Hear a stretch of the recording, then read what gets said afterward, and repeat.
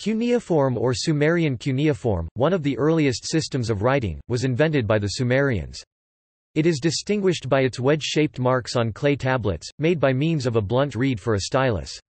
The name cuneiform itself simply means, wedge-shaped. Emerging in Sumer in the late 4th millennium BC the Uruk IV period to convey the Sumerian language, which was a language isolate, cuneiform writing began as a system of pictograms, stemming from an earlier system of shaped tokens used for accounting. In the 3rd millennium, the pictorial representations became simplified and more abstract as the number of characters in use grew smaller Hittite cuneiform. The system consists of a combination of logophonetic, consonantal alphabetic and syllabic signs. The original Sumerian script was adapted for the writing of the Semitic Akkadian Assyrian, Babylonian, Eblaite and Amorite languages. The language isolates Elamite, Hattic, Hurrian and Urartian, as well as Indo-European languages Hittite and Luwian. It inspired the later Semitic Ugaritic alphabet as well as Old Persian cuneiform. Cuneiform writing was gradually replaced by the Phoenician alphabet during the Neo-Assyrian Empire 911 612 BC. By the 2nd century AD, the script had become extinct, its last traces being found in Assyria and Babylonia, and all knowledge of how to read it was lost until it began to be deciphered in the 19th century. Between half a million and two million cuneiform tablets are estimated to have been excavated in modern times, of which only approximately 30,000 to 100,000 have been read or published. The British Museum holds the largest collection c. 130,000, followed by the Vorderasiatisches Museum Berlin, the Louvre, the Istanbul Archaeology Museums, the National Museum of Iraq, the Yale Babylonian Collection c. 40,000 and Penn Museum. Most of these have lain in these collections for a century without being translated, studied or published, as there are only a few hundred qualified cuneiformists in the world.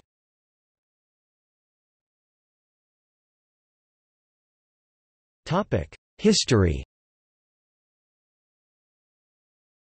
The cuneiform writing system was in use for more than three millennia, through several stages of development, from the 31st century BC down to the 2nd century AD. Ultimately, it was completely replaced by alphabetic writing in the general sense in the course of the Roman era, and there are no cuneiform systems in current use. It had to be deciphered as a completely unknown writing system in 19th-century Assyriology. Successful completion of its deciphering is dated to 1857.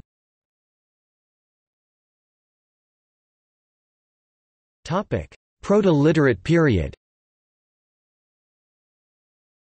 The cuneiform script was developed from pictographic proto-writing in the late 4th millennium BC, stemming from the Near Eastern token system used for accounting.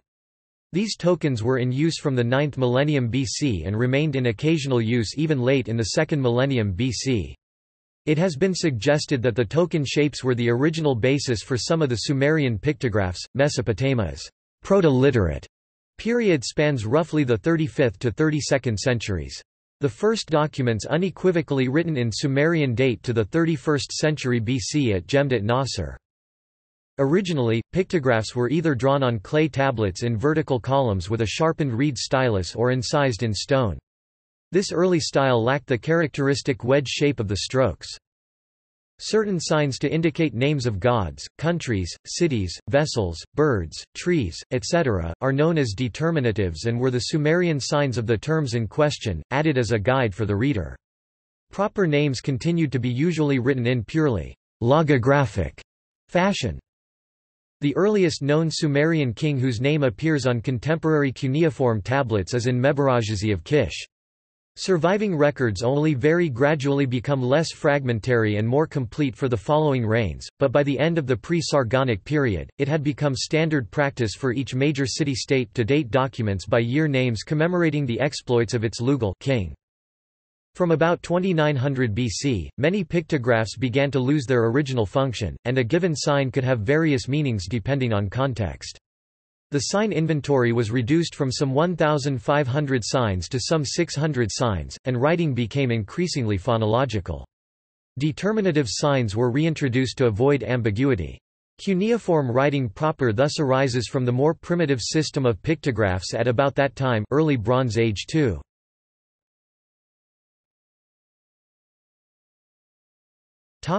Archaic cuneiform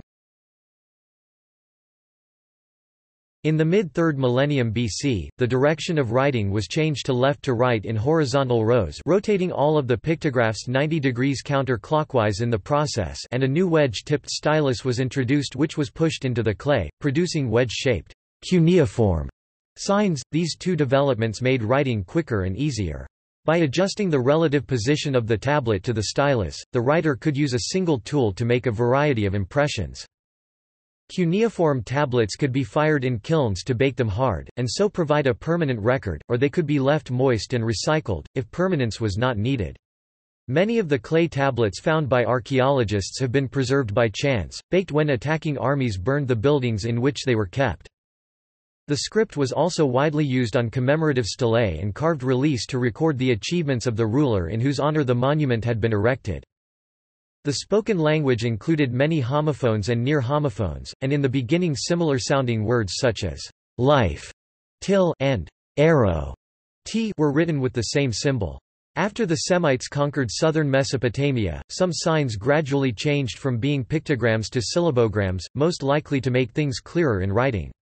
In that way the sign for the word arrow would become the sign for the sound t Words that sounded alike would have different signs, for instance the syllable gu had 14 different symbols. When the words had similar meaning but very different sounds they were written with the same symbol. For instance, tooth, zu, mouth, ka and voice gu were all written with the symbol for voice. To be more accurate, scribes started adding to signs or combining two signs to define the meaning. They used either geometrical patterns or another cuneiform sign. As time went by, the cuneiform got very complex and the distinction between a pictogram and syllabogram became vague. Several symbols had too many meanings to permit clarity. Therefore, symbols were put together to indicate both the sound and the meaning of a compound. The word raven UGA had the same logogram as the word soap Naga, name of a city and the patron goddess of Eresh Two phonetic complements were used to define the word u in front of the symbol and gu behind. Finally the symbol for bird Musan was added to ensure proper interpretation. Written Sumerian was used as a scribal language until the 1st century AD. The spoken language died out around the 18th century BC. Akkadian cuneiform The archaic cuneiform script was adopted by the Akkadian Empire from the 23rd century BC short chronology, and by the beginning of the Middle Bronze Age 20th century BC, it had evolved into Old Assyrian cuneiform, with many modifications to Sumerian orthography. The Semitic languages employed equivalents for many signs that were distorted or abbreviated to represent new values because the syllabic nature of the script as refined by the Sumerians was not intuitive to Semitic speakers. At this stage, the former pictograms were reduced to a high level of abstraction, and were composed of only five basic wedge shapes, horizontal, vertical, two diagonals and the Winkelhaken impressed vertically by the tip of the stylus. The signs exemplary of these basic wedges are as B001, U plus 12038, horizontal. Dis B748, U plus 12079, vertical. GE23, Distenu B575, U plus 12039, downward diagonal. GE22 B647, U plus 1203A, upward diagonal U B 661, U plus 1230B, the Winkelhaken, except for the Winkelhaken which has no tail, the length of the wedge's tails could vary as required for sign composition. Signs tilted by about 45 degrees are called tenu in Akkadian, thus dis is a vertical wedge and dis tenu a diagonal one. If a sign is modified with additional wedges, this is called gunu or gunification. If signs are crosshatched with additional Winkelhaken, they are called sesig. If signs are modified by the removal of a wedge or wedges, they are called natilu. Typical signs have about 5 to 10 wedges, while complex ligatures can consist of 20 or more although it is not always clear if a ligature should be considered a single sign or two collated, but distinct signs. The ligature CAC score 7 consists of 31 strokes. Most later adaptations of Sumerian cuneiform preserved at least some aspects of the Sumerian script. Written Akkadian included phonetic symbols from the Sumerian syllabary, together with logograms that were read as whole words. Many signs in the script were polyvalent, having both a syllabic and logographic meaning. The complexity of the system bears a resemblance to Old Japanese, written in a Chinese-derived script, where some of these sinograms were used as logograms and others as phonetic characters.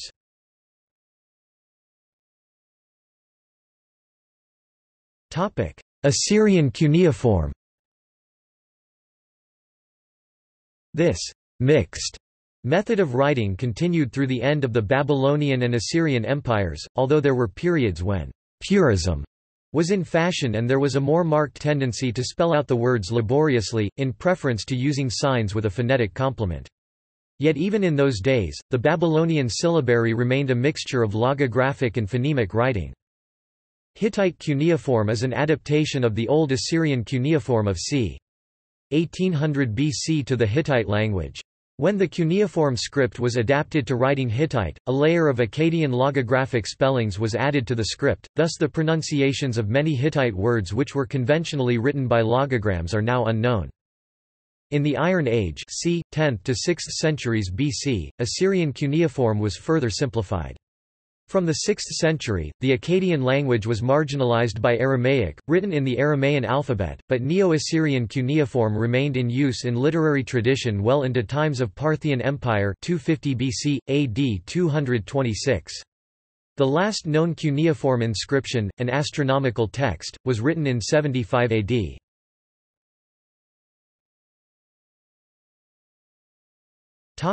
Derived scripts The complexity of the system prompted the development of a number of simplified versions of the script. Old Persian was written in a subset of simplified cuneiform characters known today as Old Persian cuneiform. It formed a semi-alphabetic syllabary, using far fewer wedge strokes than Assyrian used, together with a handful of logograms for frequently occurring words like God and king. Ugaritic was written using the Ugaritic alphabet, a standard Semitic-style alphabet and Abjad written using the cuneiform method. Topic decipherment For centuries, travelers to Persepolis, in modern-day Iran, had noticed carved cuneiform inscriptions and were intrigued. Attempts at deciphering these Old Persian writings date back to Arabo-Persian historians of the medieval Islamic world, though these early attempts at decipherment were largely unsuccessful. In the 15th century, the Venetian Giosafat Barbaro explored ancient ruins in the Middle East and came back with news of a very odd writing he had found carved on the stones in the temples of Shiraz and on many clay tablets. Antonio de Gouveia, a professor of theology, noted in 1602 the strange writing he had had occasion to observe during his travels a year earlier in Persia which took in visits to ruins. In 1625, the Roman traveller Pietro della Valle, who had sojourned in Mesopotamia between 1616 and 1621, brought to Europe copies of characters he had seen in Persepolis and inscribed bricks from Ur and the ruins of Babylon. The copies he made, the first that reached circulation within Europe, were not quite accurate but Della Valle understood that the writing had to be read from left to right, following the direction of wedges, but did not attempt to decipher the scripts. Englishman Sir Thomas Herbert, in the 1638 edition of his travel book Some Years' Travels into Africa and Asia the Great, reported seeing at Persepolis carved on the wall a dozen lines of strange characters, consisting of figures, obelisk, triangular, and pyramidal and thought they resembled Greek. In the 1677 edition he reproduced some and thought they were legible and intelligible and therefore decipherable. He also guessed, correctly, that they represented not letters or hieroglyphics but words and syllables, and were to be read from left to right. Herbert is rarely mentioned in standard histories of the decipherment of cuneiform. Carsten Niebuhr brought the first reasonably complete and accurate copies of the inscriptions at Persepolis to Europe in 1767. Bishop Friedrich Munter of Copenhagen discovered that the words in the Persian inscriptions were divided from one another by an oblique wedge and that the monuments must belong to the age of Cyrus and his successors. One word, which occurs without any variation towards the beginning of each inscription, he correctly inferred to signify king. By 1802 Georg Friedrich Grotefend had determined that two kings' names mentioned were Darius and Xerxes but in their native Old Persian forms, which were unknown at the time and therefore had to be conjectured, and had been able to assign correct alphabetic values to the cuneiform characters which composed the two names.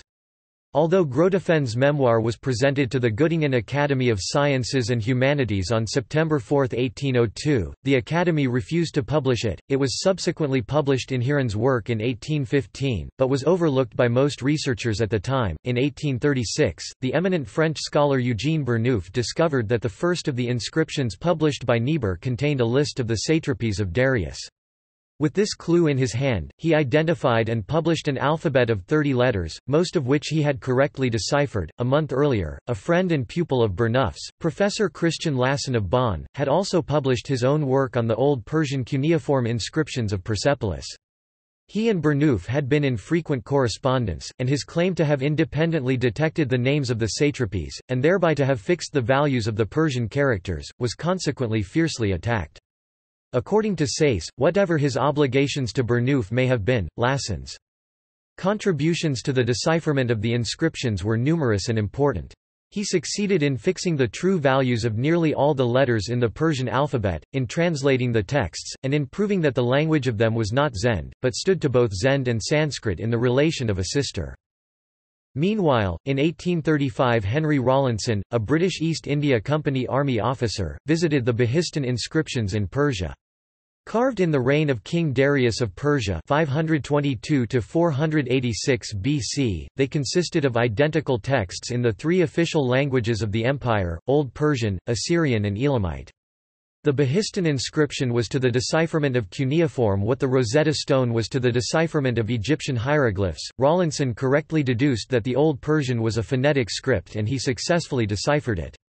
In 1837 he finished his copy of the Behistun inscription, and sent a translation of its opening paragraphs to the Royal Asiatic Society. Before his article could be published, however, the works of Lassen and Burnouf reached him, necessitating a revision of his article and the postponement of its publication. Then came other causes of delay. In 1847 the first part of the Rawlinson's memoir was published, the second part did not appear until 1849. The task of deciphering the Persian cuneiform texts was virtually accomplished. After translating the Persian, Rawlinson and, working independently of him, the Irish Assyriologist Edward Hincks, began to decipher the others. The actual techniques used to decipher the Akkadian language have never been fully published. Hincks described how he sought the proper names already legible in the deciphered Persian while Rawlinson never said anything at all, leading some to speculate that he was secretly copying Hincks. They were greatly helped by the excavations of the French naturalist Paul-Émile Botta and English traveller and diplomat Austin Henry Layard of the city of Nineveh from 1842. Among the treasures uncovered by Layard and his successor Hormuzd Rassam were, in 1849 and 1851, the remains of two libraries, now mixed up, usually called the Library of Ashurbanipal, a royal archive containing tens of thousands of baked clay tablets covered with cuneiform inscriptions. By 1851, Hincks and Rawlinson could read 200 Babylonian signs.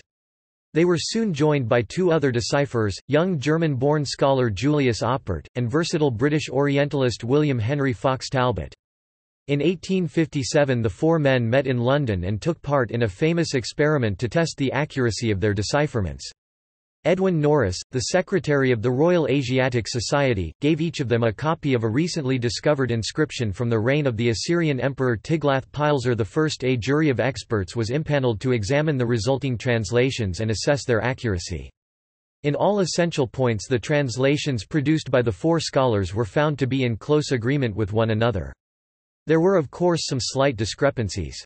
The inexperienced Talbot had made a number of mistakes, and Oppert's translation contained a few doubtful passages which the jury politely ascribed to his unfamiliarity with the English language. But Hincks and Rawlinson's versions corresponded remarkably closely in many respects. The jury declared itself satisfied, and the decipherment of Akkadian cuneiform was adjudged a fait accompli.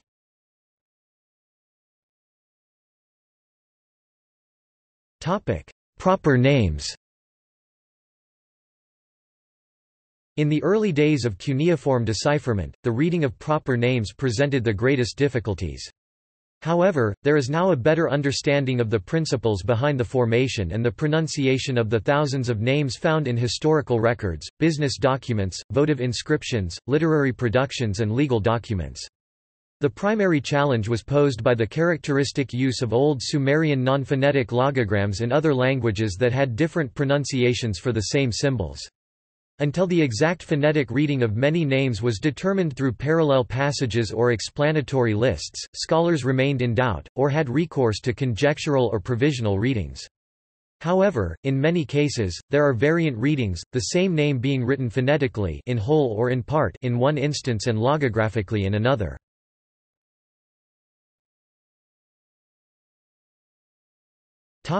Transliteration Cuneiform has a specific format for transliteration. Because of the script's polyvalence, transliteration requires certain choices of the transliterating scholar, who must decide in the case of each sign which of its several possible meanings is intended in the original document. For example, the sign dingir in a Hittite text may represent either the Hittite syllable and or may be part of an Akkadian phrase, representing the syllable il, it may be a sumerogram, representing the original Sumerian meaning, God or the determinative for a deity. In transliteration, a different rendition of the same glyph is chosen depending on its role in the present context. Therefore, a text containing dingir and mu in succession could be construed to represent the words, Anna Isla, God plus a, the accusative case ending, God plus water, or a divine name, a, or water. Someone transcribing the signs would make the decision how the signs should be read and assemble the signs as Anna, Isla, Isla, God, plus accusative case, etc. A transliteration of these signs, however, would separate the signs with dashes, illa, and a, or da. This is still easier to read than the original cuneiform, but now the reader is able to trace the sounds back to the original signs and determine if the correct decision was made on how to read them. A transliterated document thus presents the reading preferred by the transliterating scholar as well as an opportunity to reconstruct the original text. There are differing conventions for transliterating Sumerian, Akkadian Babylonian and Hittite and Luwian cuneiform texts. One convention that sees wide use across the different fields is the use of acute and grave accents as an abbreviation for homophone disambiguation. Thus, U is equivalent to U1, the first glyph expressing phonetic U. An acute accent, U, is equivalent to the second, U2, and a grave accent U to the third, U3 glyph in the series while the sequence of numbering is conventional but essentially arbitrary and subject to the history of decipherment. In Sumerian transliteration, a multiplication sign x is used to indicate typographic ligatures. As shown above, signs as such are represented in capital letters, while the specific reading selected in the transliteration is represented in small letters. Thus, capital letters can be used to indicate a so-called Diri compound, a sign sequence that has, in combination, a reading different from the sum of the individual constituent signs for example, the compound IgI, a water, plus I has the reading imhur, meaning foam. In a Diri compound, the individual signs are separated with dots in transliteration. Capital letters may also be used to indicate a sumerogram for example, ku. Babur, Sumerian for silver, being used with the intended Akkadian reading kaspum, silver, an akkadigram, or simply a sign sequence of whose reading the editor is uncertain. Naturally, the real Reading, if it is clear, will be presented in small letters in the transliteration, IGI, a will be rendered as Imhur 4. Since the Sumerian language has only been widely known and studied by scholars for approximately a century, changes in the accepted reading of Sumerian names have occurred from time to time. Thus the name of a king of Ur, read Ur-Bau at one time, was later read as Ur-Angor, and is now read as Ur-Nammu or Ur-Nama. For Lugal Zajc, a king of Uruk, some scholars continued to read Ungal Zajc, and so forth. Also, with some names of the older period, there was often uncertainty whether their bearers were Sumerians or Semites. If the former, then their names could be assumed to be read as Sumerian, while, if they were Semites, the signs for writing their names were probably to be read according to their Semitic equivalents, though occasionally Semites might be encountered bearing genuine Sumerian names. There was also doubt whether the signs composing a Semite's name represented a phonetic reading or a logographic compound.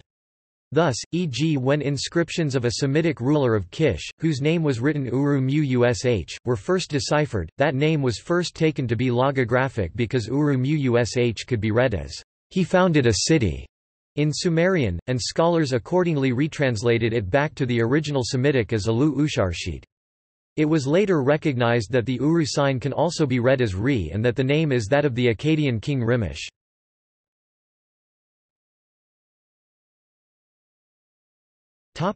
Syllabary The tables below show signs used for simple syllables of the form CV or VC. As used for the Sumerian language, the cuneiform script was in principle capable of distinguishing at least 16 consonants, transliterated as B, D, G, G, H, K, L, M, N, P, R, R, S, S, T, as well as four vowel qualities, A, E, I, U.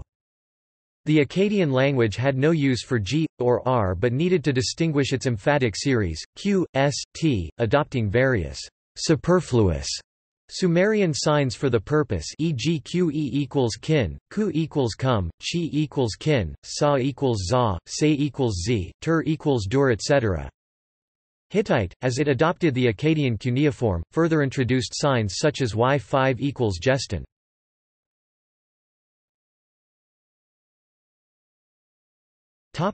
Sign inventories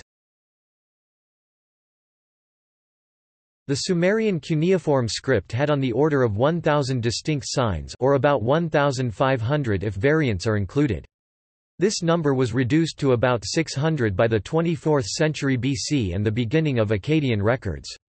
Not all Sumerian signs are used in Akkadian texts, and not all Akkadian signs are used in Hittite. Falkenstein 1936 lists 939 signs used in the earliest period late Uruk, 34th to 31st centuries. With an emphasis on Sumerian forms, Deimel 1922 lists 870 signs used in the early dynastic II period 28th century. Locke, and for the early dynastic Ea period 26th century. Essel. Rosengarten 1967 lists 468 signs used in Sumerian pre-Sargonian. Lagash and Mittermayer ABZL 2006 list 480 Sumerian forms, written in Isin Larsa and Old Babylonian times. Regarding Akkadian forms, the standard handbook for many years was Borger ABZ 1981 with 598 signs used in Assyrian, Babylonian writing, recently superseded by Borger MESZL 2004 with an expansion to 907 signs, an extension of their Sumerian readings and a new numbering scheme. Signs used in Hittite cuneiform are listed by Farr 1922, Friedrich 1960, and the HZL Ruster and Neu 1989. The HZL lists a total of 375 signs, many with variants for example, 12 variants are given for number 123 EGIR.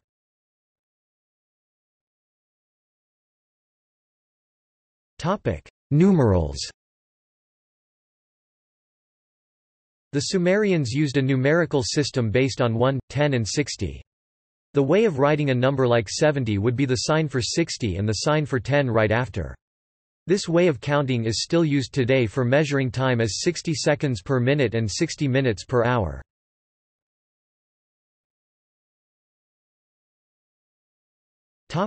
Usage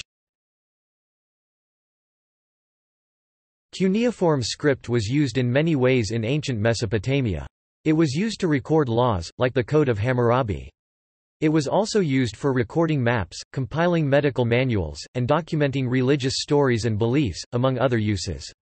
Studies by Assyriologists like Claus Wilcke and Dominique Charpin suggest that cuneiform literacy was not reserved solely for the elite but was common for average citizens. According to the Oxford Handbook of Cuneiform Culture, cuneiform script was used at a variety of literacy levels. Average citizens needed only a basic, functional knowledge of cuneiform script to write personal letters and business documents. More highly literate citizens put the script to more technical use, listing medicines and diagnoses and writing mathematical equations. Scholars held the highest literacy level of cuneiform and mostly focused on writing as a complex skill and an art form.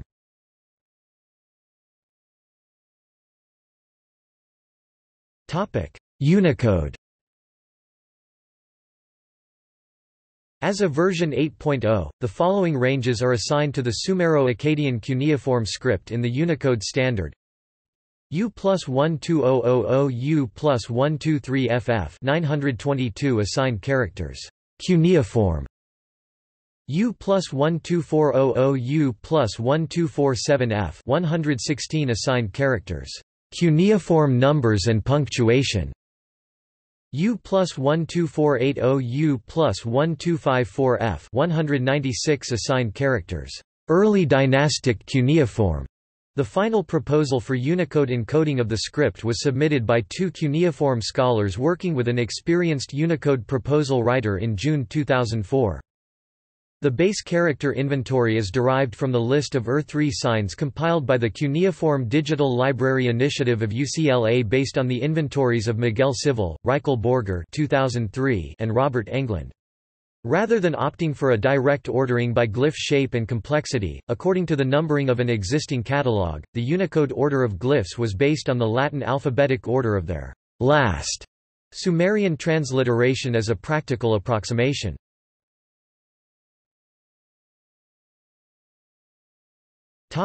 List of major cuneiform tablet discoveries.